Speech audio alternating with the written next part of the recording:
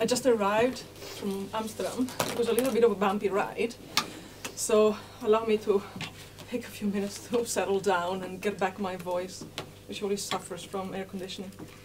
But I hope that you can, I can project it sufficiently to reach all of you here, and also allow me to, to, to sit, given as an academic I never do that. But nonetheless, I'd like to do it, and it feels like much cozier and family-like. So, um, what I'm gonna talk uh, about today is actually a sort of a crowdsourced talk. And you're gonna see what the other people in this adventure. They are uh, my research collective. I shouldn't probably say my, it doesn't go very well with collective. But it's a new collective that I had the, the chance of setting up that um, is called Data Active, which takes the name from the project that Mark uh, just mentioned. We are just at the beginning, so I don't have many answers actually. What I have are probably some provocations, some suggestions, and some hypotheses that we would like to test over the next five years. So we have really literally started, we, we are reading, we're getting to know each other, we're trying to understand how to think uh, and write interdisciplinary and as a collective. So probably this talk reflects also that magmatic creative uh, moment uh, in which uh, we are in. So the title, Big Data, Data Activism, and the Global Civil Society is very broad, suggests many possible directions. And I decided to narrow it down, and actually decided that this morning. And um, go back to something that um, I had not played with for a long time, meaning the concept of hegemony and uh, counter uh, hegemony. I'm Italian, so you're all familiar probably with uh, Gramsci, 1920 not a, a, Marxist scholar at all, but every now and then, when studying uh, social movements and what social movements do with technology, I find the notion of hegemony uh, quite interesting. So I'm going to try to play these concepts here against those uh, that dichotomy in a way. I suggest some pos possible uh, directions that this big data revolution might take, or, or might not, given um, we're just probably at the beginning of it. So, um, well, probably in a setting like this, I don't, I don't need really to describe the context, uh, the fact that we live uh, in, a, in, a, in an age of data abundance, the ability of computers, but also of institutions, accordingly, to uh, collect and make sense of large, large quantities of data is certainly unprecedented, and it is growing very, very fast. It becomes also cheaper. You know, all uh, the numbers, so I'm going to skip that. It is what someone has called the data, the industrial revolution of data, pointing to the fact that we are probably in front of something that is um, will change our ways of uh, producing, for sure, but also our ways of being citizens and our ways of relating to each other. Although mm, I'm a little, always a little bit, bit skeptical um, about these grand narratives, these promises of uh, you know, revolutions and, um, and big changes. And in fact, I mean, we don't have to, to go very far uh, back in time to uh, find uh, Edward Snowden and the Snowden revelations. And I think that is just one example of the potential shadows that uh, such data revolution might harbor. The shadows uh, concern, of course, uh, you know, surveillance, but massive data collection in general as it invades um, our um, daily dynamics, changes the way we relate, for example, to the stables, to the industry, changes the way we relate to our means of uh, communication in ways which are certainly positive and interesting and harbor really big promises for social movement and social change, but uh, also uh, might have some negative aspects. Now, um, when I was thinking, so I come from studying uh, social movements and technology. So actually, if I really go back in time, I come from studying alternative media. You might remember that label, which is not very, very popular anymore. I also looked at the internet governance uh, from the very um, beginning, very early on. And uh, back then, we were discussing uh, the digital divide, for example, right? Something that probably are not really discussing that much, certainly not in internet governance forum, where I actually spend a lot of my time, not only as a scholar, but also, if you want, as an activist. So, um, you know, thinking how can I repurpose myself in the age of, of big data, if you want. I mean, it was in, in view of getting the big grant that in fact I ended up getting. So I, um, I decided to approach big data, not much looking at uh, the size of the data. In fact, in this talk, you don't see any definition of what constitutes really big data. But I decided to take big data as, um, you know, as a metaphor for a number of, uh, of trends. And I decided to look at it, um, you know, from the point of view of uh, the political attitude that people have towards big data. Attitude meaning not only in terms of perceptions, but also in terms of practices. So what do people do with big data? How do people engage with massive data collection? In fact, I'm not really interested in big data as such, but in massive data collection, except that big data is easier to pitch, right? Um, and I mean, it, it's probably much broader than data collection anyway.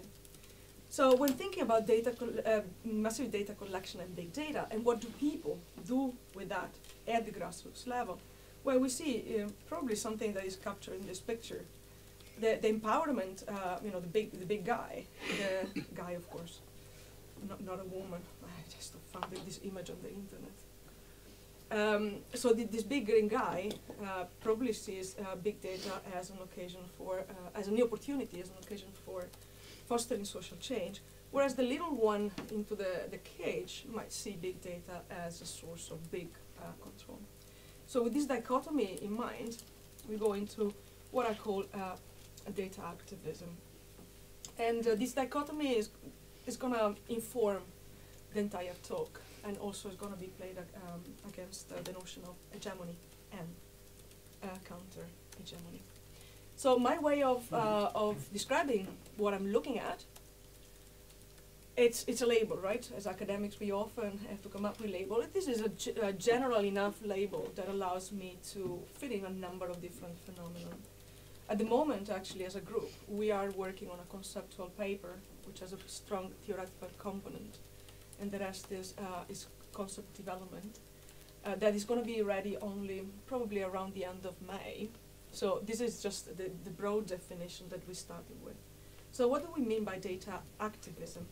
Well, mobilizations, so social mobilizations that take a critical stance towards massive data collection and big data as a phenomenon more in general.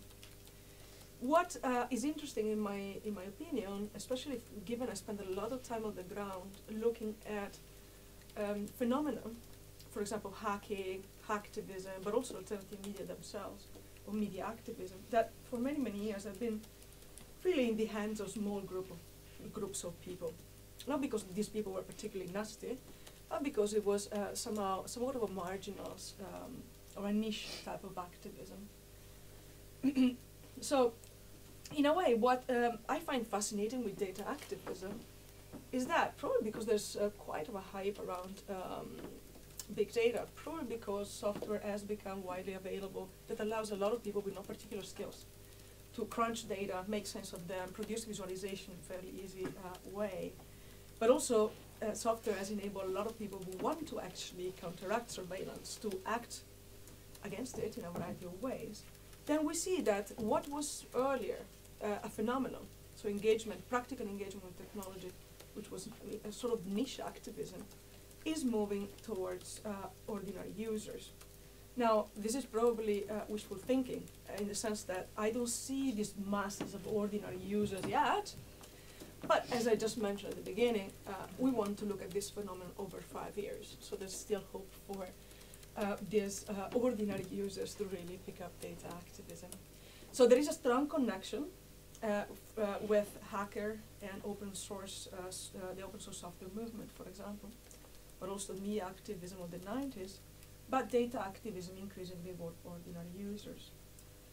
Another difference with media activism uh, in the 90s is that uh, this, this type of activism is particularly linked with software.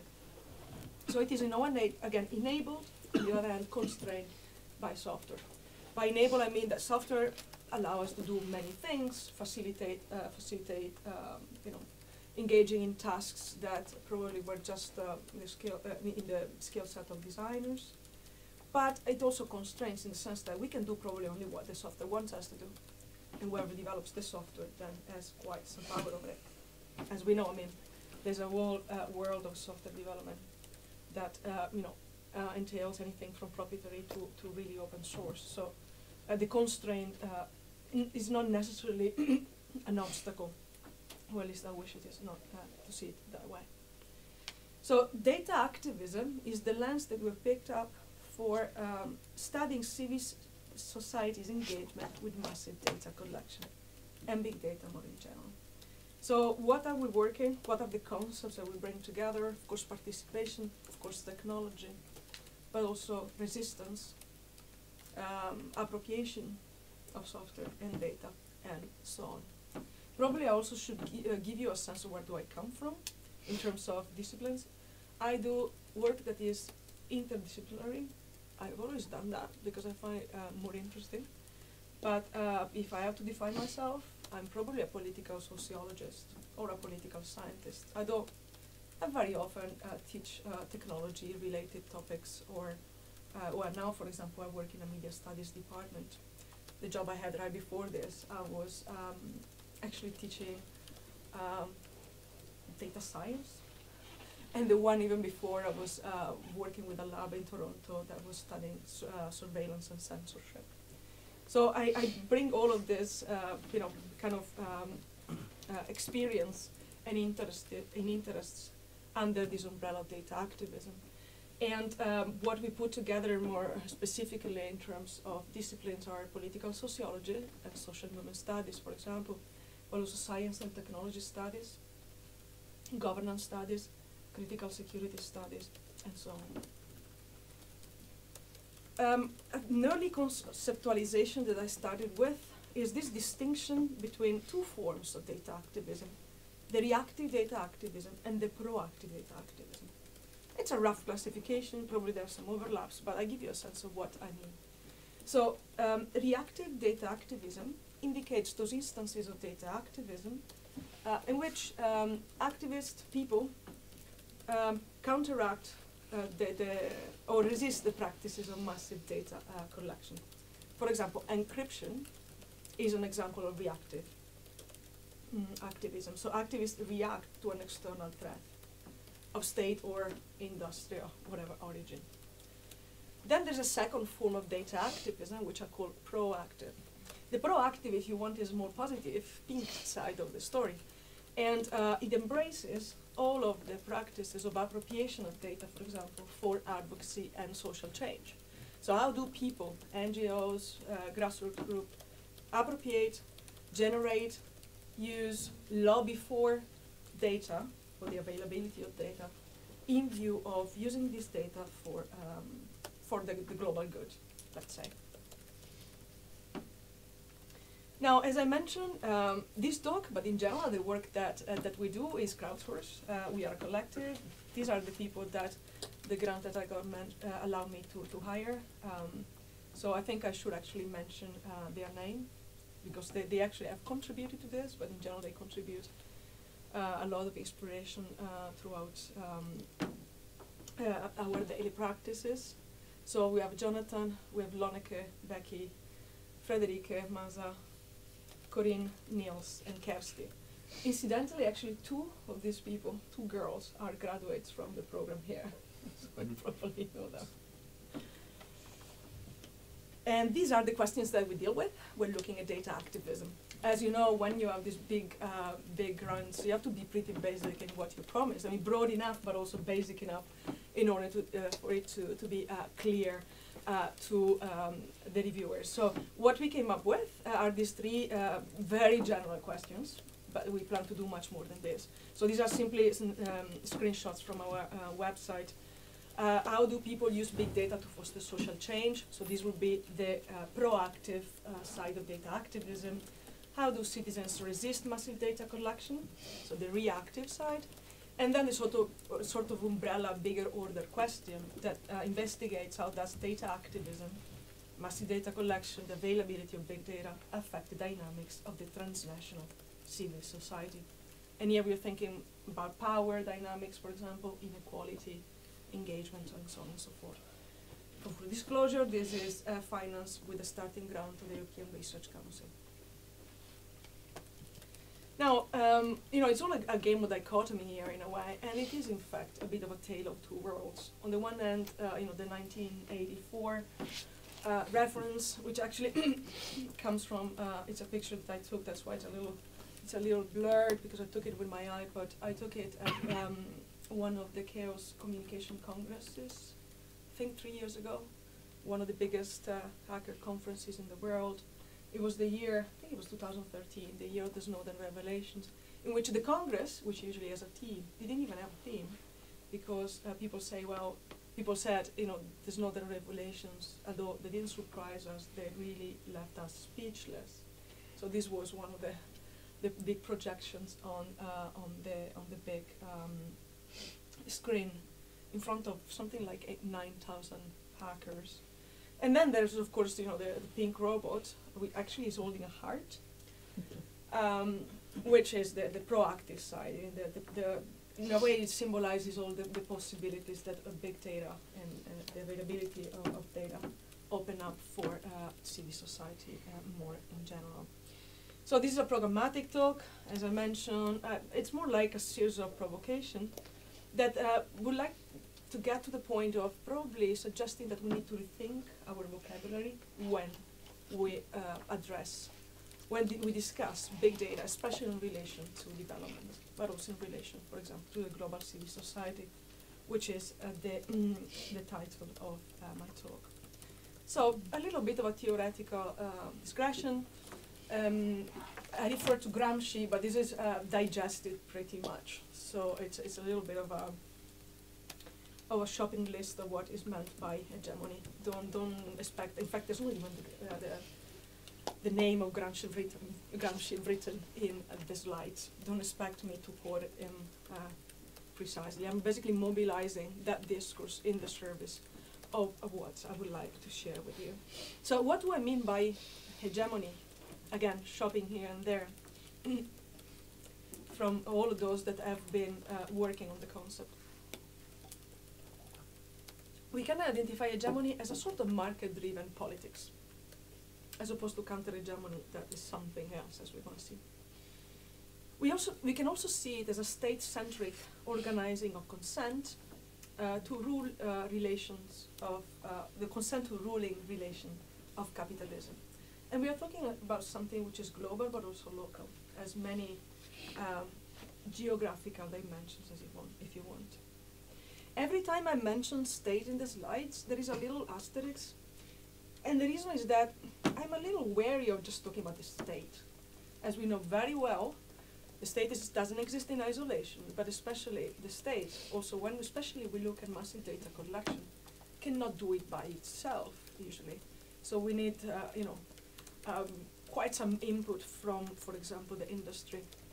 So when I refer to the state, is, is that because it is usually uh, what the things I refer to um, use, but for me it's much more complex um, uh, set of players as opposed to just one. Let's say institutions. So hegemony refers to the organizing of consent to a certain type of relations, which are those uh, the neoliberal relations, if you want. And it also refers to the reproduction of underlying social structures. And these social structures are both the sort of material cause of the problem, but also the reproduced outcome. So it's a system that perpetuates itself, or at least would like to perpetuate itself. Actually, works very well in perpetuating itself if we look at many of its instances. Now, contrary to hegemony, we can look at counter hegemony. Again, it's an oversimplification, but whereas hegemony was the market-driven policy politics, counter-hegemony is transformative politics. Here I actually, more than Gramsci, refer to the work of John uh, Downing, who studied uh, radical media back in the 80s, and that um, built a lot on um, anarchism and the, the, those set of thinkers to look at radical forms of uh, grassroots media. So I was talking about transformative uh, politics. So counter hegemony is usually subaltern, but I would don't want to actually emphasize that part. But it challenges the ideological frameworks, and more importantly, not only challenges, but also substitutes them, supplants them with a set of alternatives. I think it's very important here to, to use the plural. Although actually counter-hegemony has in the past been mobilized to indicate a counter-hegemony, like just one, instead of the plurality of possibilities out there. But we are going to see towards the end of the talk that other people have um, spoken about anti-hegemony, and probably in terms of big data, it becomes even more important to, uh, um, to amplify the plurality of the alternatives. Counter-hegemony can be seen as a conveyor of change. It builds very much on anarchist prefiguration, so they attempt to create here and now the world as we would like it, can be the internet as we would like it. And counter-hegemony becomes, for the group that engage with it, actually an ethical statement. So it's not just a set of practices, a, a ways of relating to each other, but it's also a message to society. And, and that's why, no matter how small these counter-hegemonic projects, counter-hegemonic instances of data activism are, usually they have a message for society. So they don't try to create an alternative parallel world out there, but they try always to feed back, to connect back, to change society at large. Counter-hegemony is also a way of democratizing state practices. Again, state with the asterisk. I think it's very important when we look at big data and massive data collection to see counter-hegemonic practices as an attempt to democratize state practices. And here I'm thinking about, for example, all the state um, prompted data collection processes. Anything from biographical data, but also more recently, if we look at the refugee crisis, for example, the attempt to gather data, probably to, you know, with good intention of managing more efficiently the information, but certainly also with intended or unintended consequence of uh, depriving these people of their identity and also their agency. So repressing them, sending them back, monitoring them so that you know there are invisible, invisible boundaries that they cannot cross. So I invite you to take this, this uh, idea of democratizing state practices in mind when thinking about counter-hegemonic practices. Now, I think it's always been the case, but um, I guess even more so with contemporary activism, and not only data activism. Hegemonic and counter-hegemonic data politics is actually a continuum. It, yes, it is a dichotomy, but there's much more, uh, you know, uh, variations in between the two. There are practices that might be hegemonic and counter-hegemonic at the same time, especially when we look at uh, data. Or there might be practices and actions and processes that might have started intentionally as counter-hegemonic, but that ended up being hegemonic. So um, here goes the invitation to, yes, there are dichotomies, and I'm going to use them as dichotomy, but it's a much more granular process in between.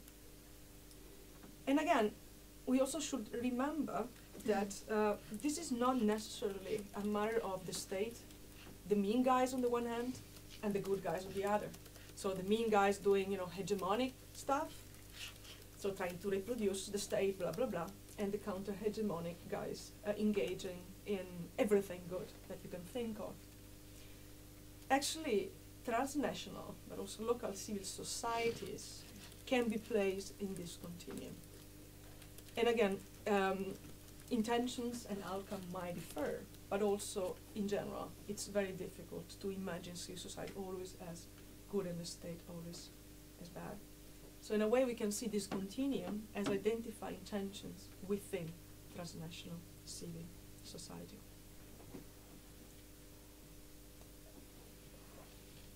And society is in the plural, trying to emphasize the fact that as I'm gonna make more explicit towards the end of the talk, we actually have a problem, big problem when we look at development and when we look at big data in particular. Probably it's the same problem that you find in many other fields, but the problem that we have is that we have a vocabulary and we have an approach which is very Western centric. Therefore, it's important to remember throughout the process that uh, we are mm, in front of a plurality of societies, defined and understood in a different way, and that behave differently, and for which different solutions might be uh, found or might be needed. Now, what, how can we think about an anti-hegemonic data politics? How does it look like? As I mentioned, I don't have many, many, you know, um, answers in this respect, but I would like to follow these four threads, if you want, that um, in looking at anti-hegemonic data politics. So data politics here is intended as technical practice in interaction with social political emancipation. So there is a technological dimension, but also um, a, a, very social uh, one. Of course, the, the starting point is also uh, is always the social, but then in uh, the STS, science and technology um, studies tradi tradition, I very much like to take also the, the technical side, the social technical anyway, in the sense that there's a close connection and the dynamic, uh, that's sort of two-way dynamic between uh, the two. And we're going to look now in what follows uh, um, about four of these uh, dimensions, if you want. New epistemologies, a new us, which refers to actually agency and political actors, new practices, and new vocabulary. And we're going to conclude on uh, the new vocabulary. In doing this, I'm going to mobilize some of the concepts that scholars have mm, used to uh, think about hegemony and anti-hegemony, counter-hegemony, sorry, and then anti at the end. And then I'm going to provide some examples, some snapshots. I'm sorry that um, some of the slides actually are pretty tiny, but uh, don't, don't, don't, don't worry, going to go through all the details, so you don't really need to read them. So, new epistemologies. So what does it mean to look at big data from uh, the point of view of data activism, for example? Well, I'm interested in big data as promoting a new epistemology because, I mean, in a way, we, we keep hearing that data are the new fabric, is the new fabric of our society. So it is also pretty much informing our ways of making sense of the world, our ways of knowing the world, our ways of interfacing with the world. So that's what I mean by neo-epistemology. So uh, with the availability of numbers, uh, of course, as we know very well, metrics and numbers, percentages, whatever, mm. have been there, especially in the development sector since, since ever. But um, what is probably relatively new is that they are widely adopted also by civil society and NGO and we see a sort of move from, we're going to see it more, more clearly in the section on practices, um, a move from value-based advocacy to number or metrics-based advocacy. So this is probably the symptom, I mean the picking up of this uh, dimension by civil society as well is the symptom of some sort of new, probably new epistemology or epistemologies emerging as um, a reaction to uh, the availability of big data. So um, why is thinking about how data change our way of seeing the world, understanding and making sense of the world is important in relation to thinking hegemony and counter-hegemony? Well, um, I'm gonna here uh, uh, mobilize Fraser, Nancy Fraser, who um, very interestingly, and later on, it was not one of her earlier work, but um, later, like actually already 10 years ago, but relatively recently, if you want, um, spoke about uh, the politics of representation. So she says that the, the, we are a, so one of the biggest sources, forms of injustice, is the control over the framing of the political representation. So who is there, what is this person doing, and, and what for?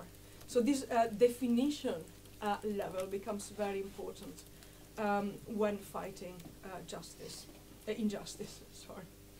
So she she she talks about a state-centric politics of uh, representation, which um, becomes uh, very important in the, in the, moment in which it intersects transformative politics. So on the one hand, we have the state that has this power of political representation, and on the other hand, we have the attempt by grassroots group, by civil society, to engage in transformative politics of representation as the basis for recognition and redistribution. So if the state has this power of representing, of labeling, for example, then you know from labeling, from language comes recognition, and from recognition, from the state point of view, comes also possibly redistribution, for example, of state resources. So how do data and big data, and then you know inter interaction with civil society, change this uh, political uh, representation, this uh, you know power over the political representation that the state has? I have a couple of ideas here. So um, they, they, go in a different, in very different direction. As, I'm, as I said, these are mostly like provocations here and there. There's no data here, but we are at the very beginning of our work. So, mm, as you see, is again the, the, the, dichotomy, the tale of two words, uh, the pink robot, bringing us the positive, the nice side of the story, and the 1984 Orwellian picture, reminding us of the dangers of big data. So, um, you know, in mobilizing data to represent uh, society, data can be used as the sole truth. But as scholars, we know very well that data can actually tell many stories. Can tell many truths. I mean, like um, if you look, for example, at uh, the earlier manuals for data visualizations for journalists, actually this is very clear, clearly stated you can more or less mobilize data to say anything you want, right? On the other hand, there's the possibility that the story, the, the pink story, is seeing data as complementary in this effort of political representation of society. In this effort of engaging transformative politics that also take into account the, the, the, the representation and labeling exercise. So yeah, data is seen as sort of complementary, backing up a story, making it stronger, making um, you know uh, evidence uh, more clear, and is at the service of um, advocacy, for example. Tracking, tracking as you know, tracking movements, tracking uh, identities, collecting it all, for uh, you know, the Orwellian uh, perspective, is an imperative and very often an end in itself. So the story ends there, and from you know this this, this also discussion about correlation and causation. What can you use data for?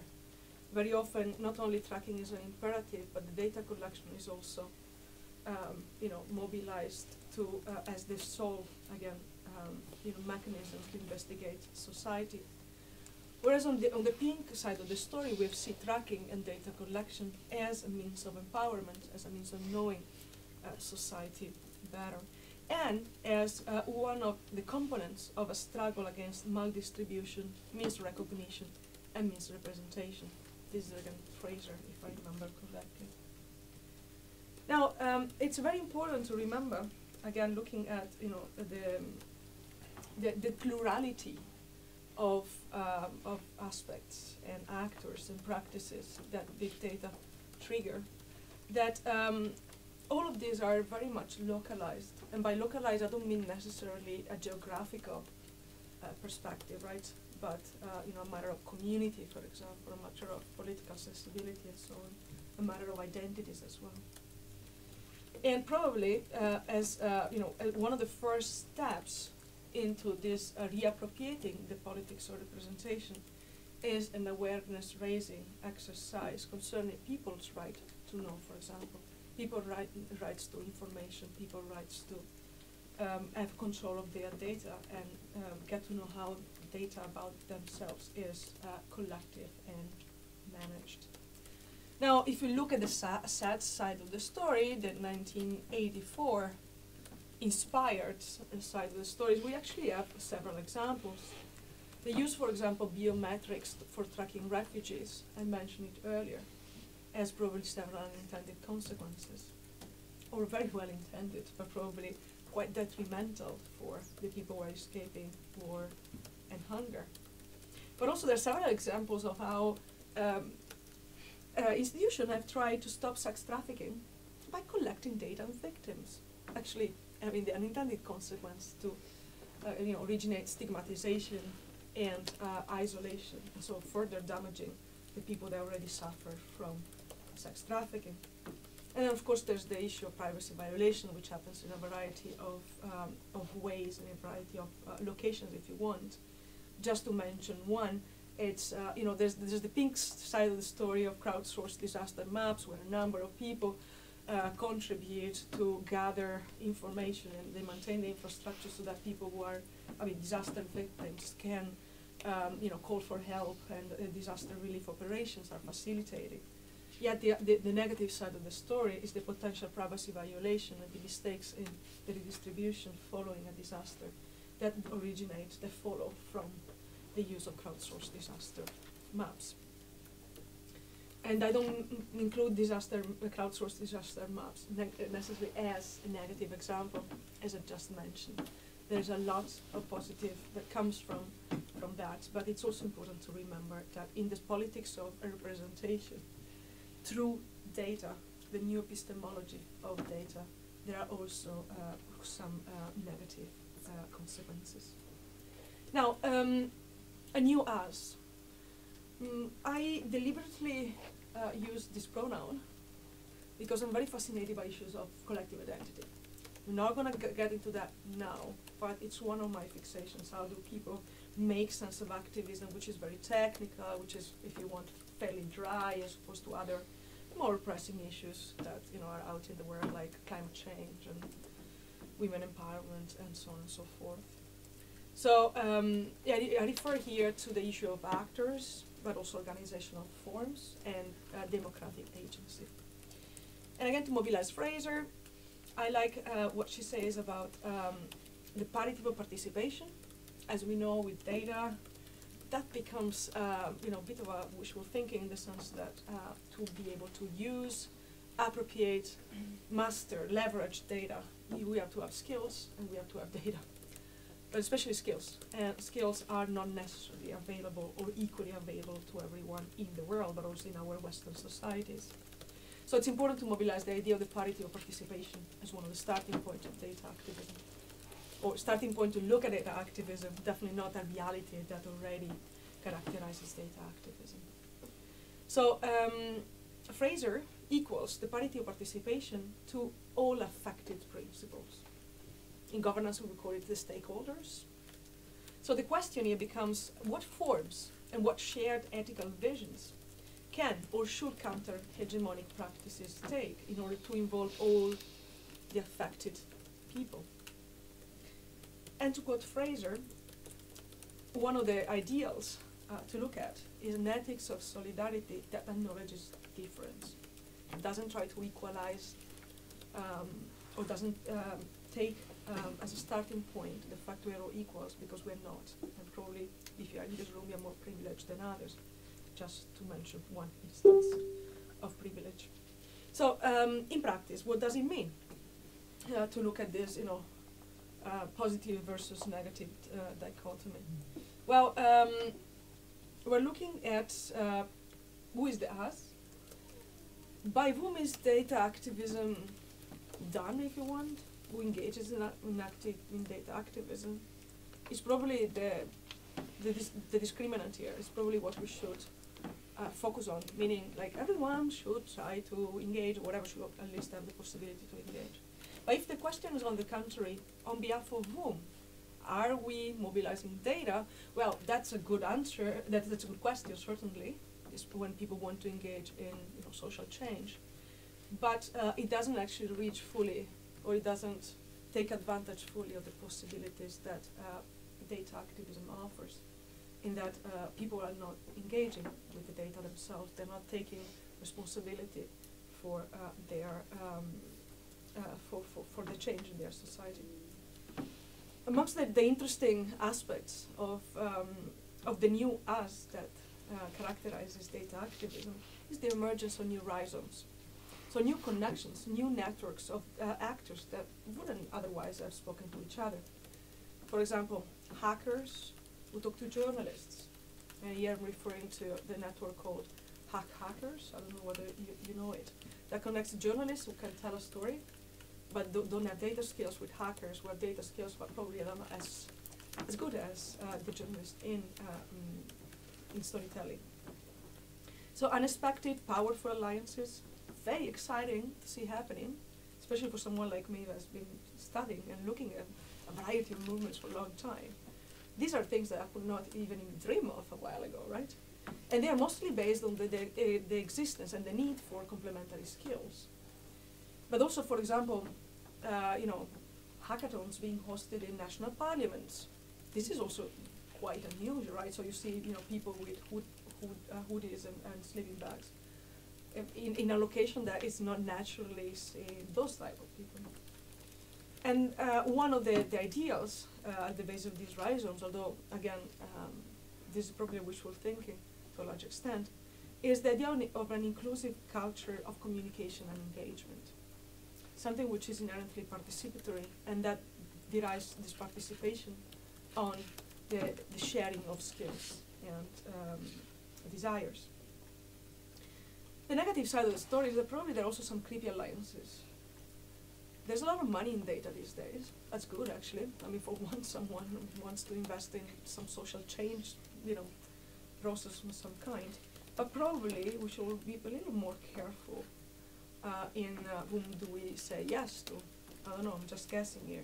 I have some creepy alliances in mind. So many others are just, you know, uh, very good. So it's not that corporate money necessarily equal uh, negative consequences, but uh, you know, it's, it's, it's, correct probably to interrogate where the money comes from and what alliances does this money uh, foster or, in, or, or hides. And there is also, of course, the big scale of availability, accessibility, the big problem of the availability, accessibility, and of the skills, the knowledge problem, the knowledge divide that we see uh, there.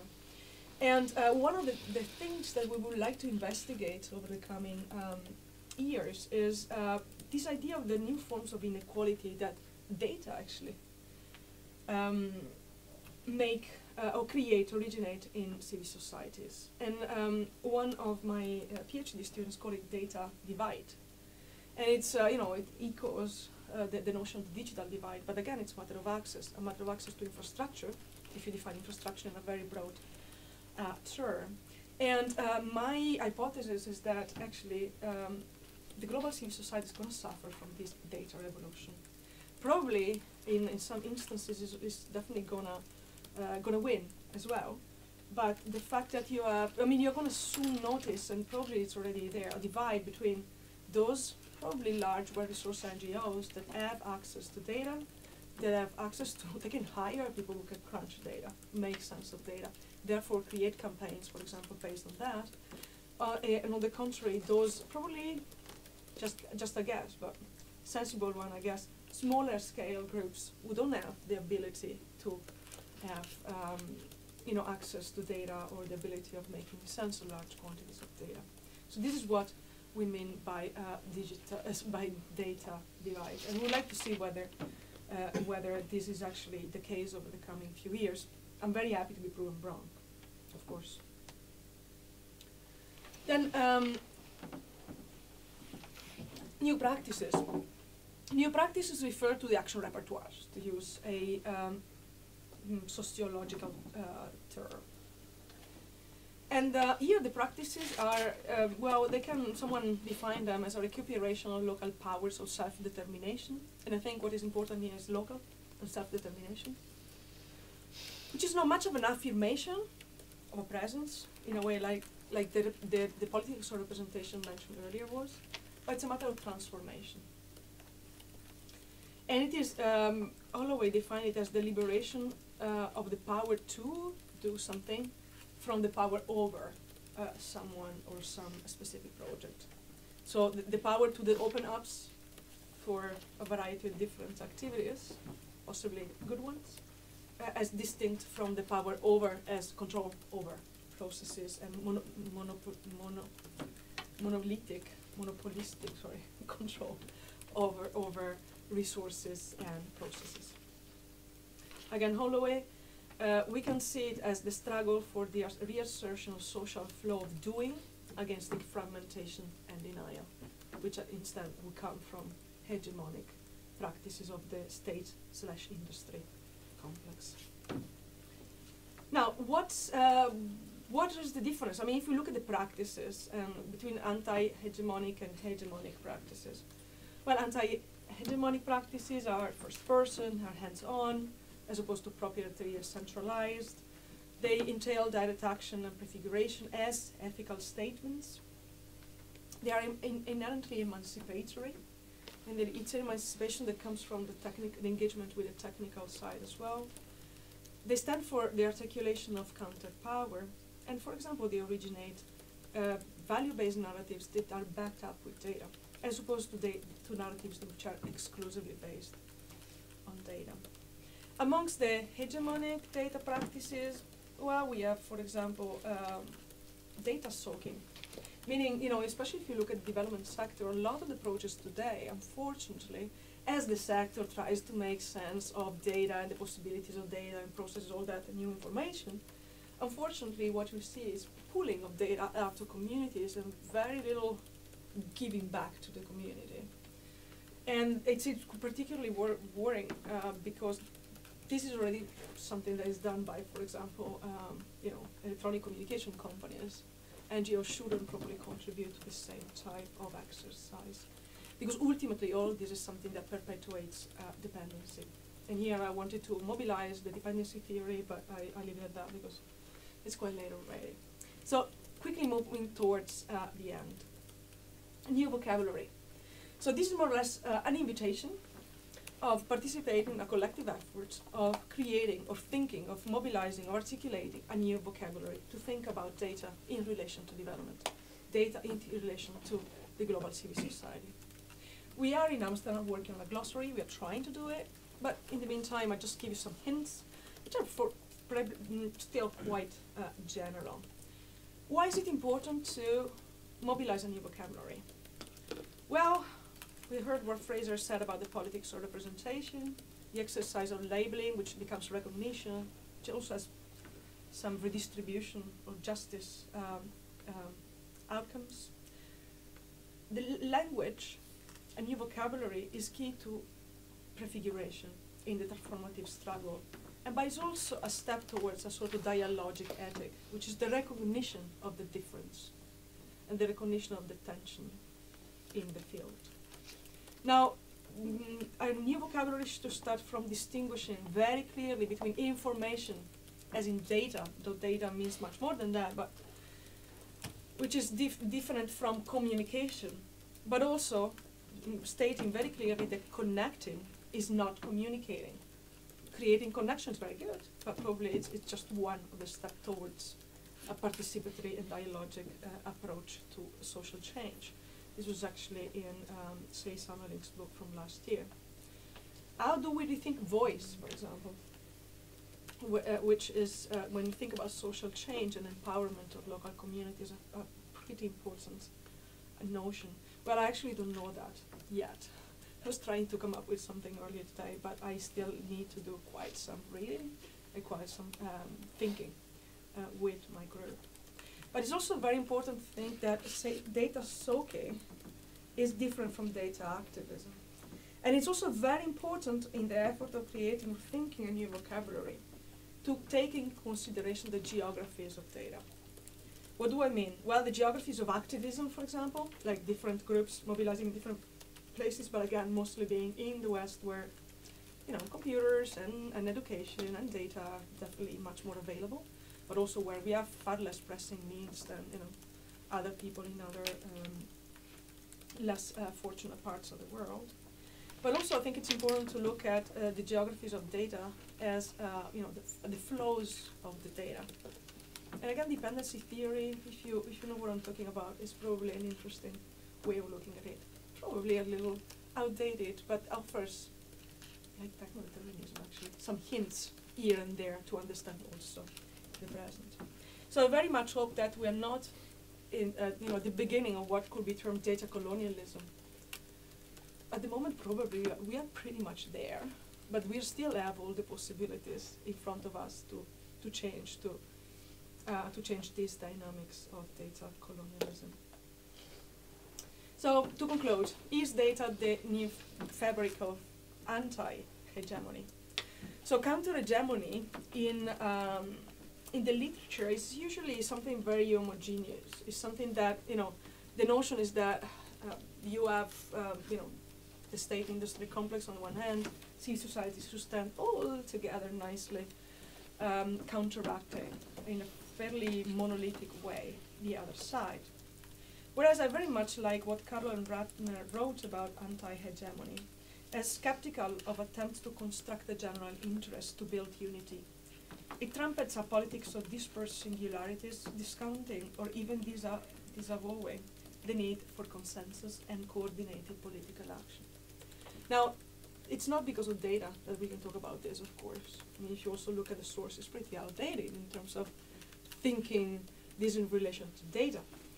But uh, why not? I would like to see, uh, and that's also because I want to, to conclude on a positive note, I would like to think about data as probably um, a frame, in a way, an extra layer that brings technology closer to the people and brings uh, the hands-on um, engagement with technological practice for social change closer to the concern of many people that so far consider technology as out of their uh, comfort zone.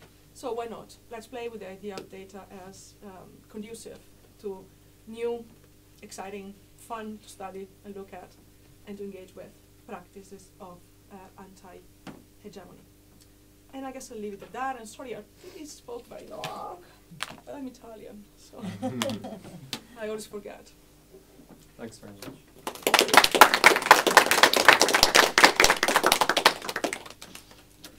We have, we have a bit of time for questions, so maybe you want to field your own questions, or yeah, yeah, why not? Yeah, so just raise your hand. Maybe do you want to take a few at a time, or yeah, probably a couple or something. Uh, I need a pen.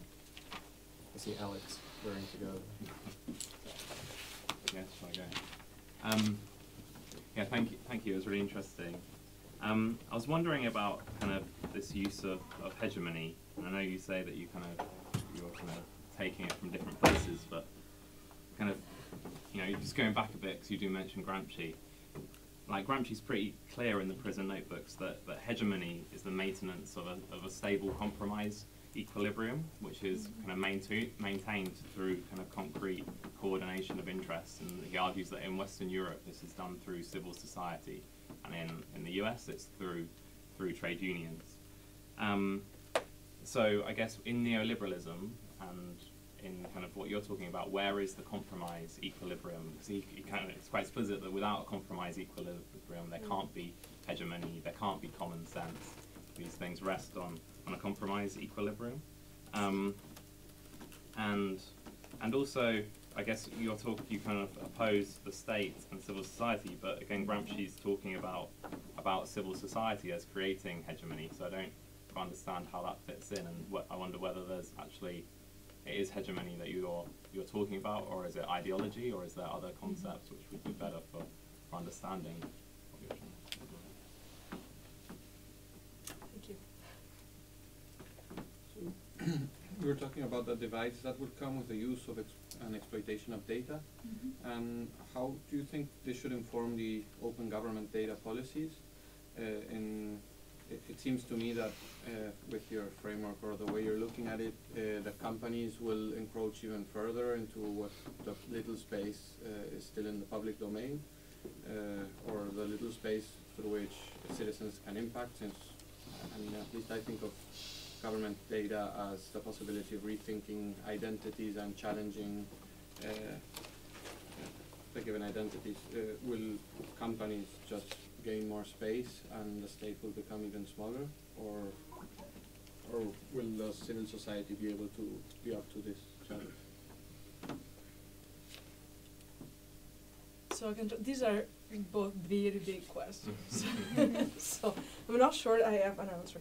I was actually uh, to the question on um, mobilizing Gramsci in a bit of a funny way. I saw it coming, and I very much hope it wouldn't come.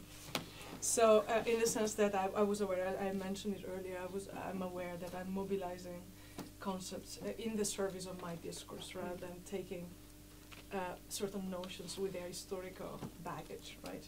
So it is, um, you know, something that you do in a talk, but you probably don't write up, if you know what I mean. Um, about the compromise equilibrium, that was something in particular that was worrying me as was on the plane to come here. And I don't have an answer. So if I ever decide to write this down, probably I will have to, to, to find a solution to this. But thank you for posing the question. It's very also nicely articulated. And um, it's going to give me some more food for thought in the coming hours list. But yeah, I mean, the civil society is being part of, uh, you know, at the interaction state, civil society and civil society being part of the equilibrium is something that I see very much looking at governance and multi-stakeholder governance, for example, uh, these days.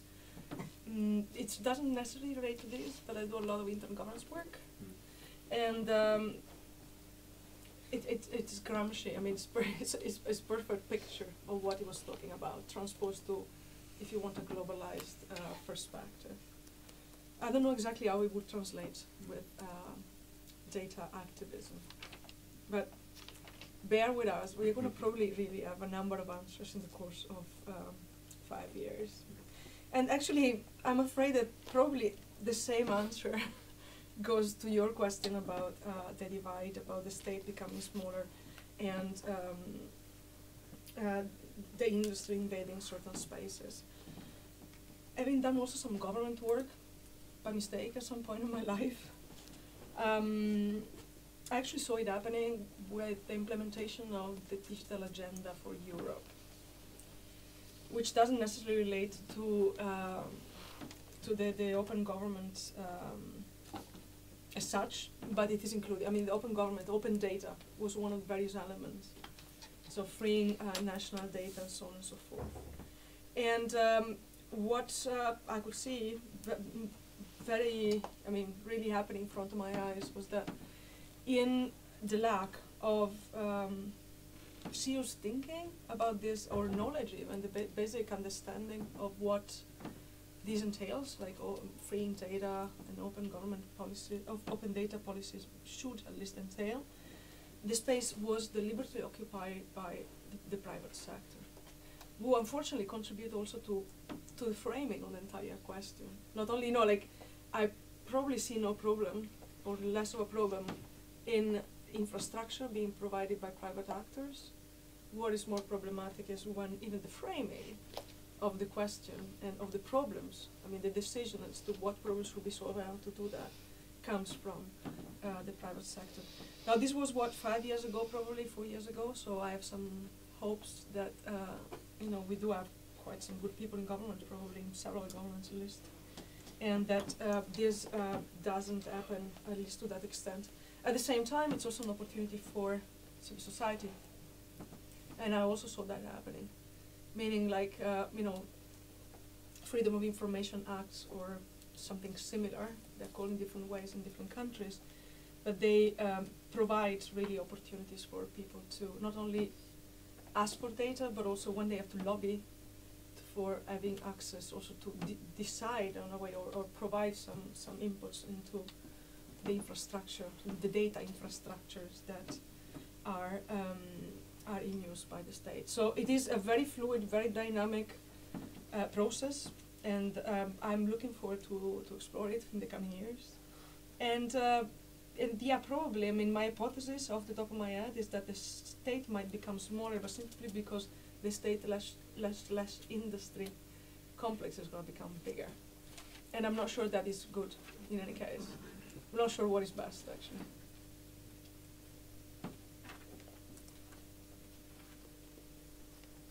Um, how would you locate whistleblowing in all of this? Because do you think that it's like a counter force against um, like the increasing control over data of, um, of people? Or, because I think it's like an interesting aspect to think about it. It's like using the um, force's own weapon um, against itself in a way, as we see from, for example, WikiLeaks. Mm.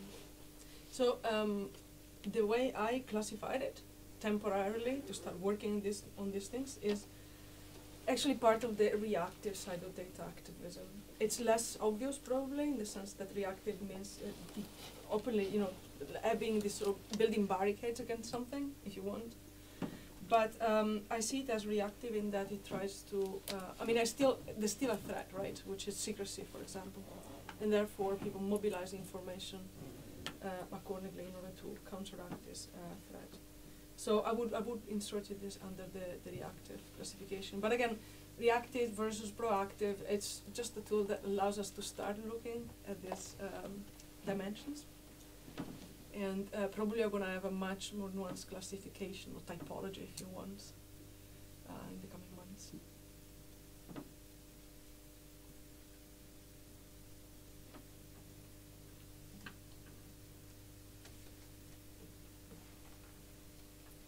Do we have any final questions, comments, thoughts? Is everyone shy because it's the first one? well, because it's super hot in here. It is super hot. It's the sauna approach, the knowledge. It's probably distill. Yeah. It's in the air. Yeah, exactly. Amir? Just a final, maybe a comment and a question. I mean, how much of it thought have you given in terms of role of a state? Um, I know you mentioned it in the earlier part, of state-centric sort of stuff. How much of a thought have you given in terms of role of state in this aspect of data activism, considering the last comment you made with the state getting smaller?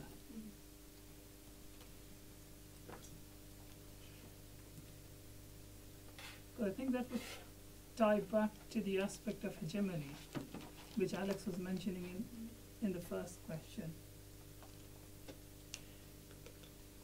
Yeah, so the state, so taking, at least in this initial framing, the approach of the grassroots perspective, want, on the politics of big data and on those dynamics, the state is the kind of, for the moment, the black box on the other side. And it is just dictated by a overly simplified research design that tries to anyway emphasize a certain type of sector of activities Yeah. uh, which are the grassroots ones. Uh, clearly, and also especially in, in inter- when we start looking, for example, at uh, critical security studies, uh, governance studies more explicitly, but also international relations, the state is going to become much more complex than it is. But it is not, at the moment, it is really just a black box. And uh, a, a black box that interacts with another black box, which is the industry.